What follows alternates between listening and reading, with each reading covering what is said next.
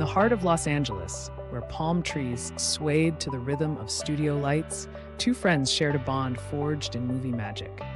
Their laughter echoed through the narrow streets, a symphony of joy that transcended time zones and genres. On a warm Friday evening, they sat on the rooftop with the Hollywood sign winking at them from a distance.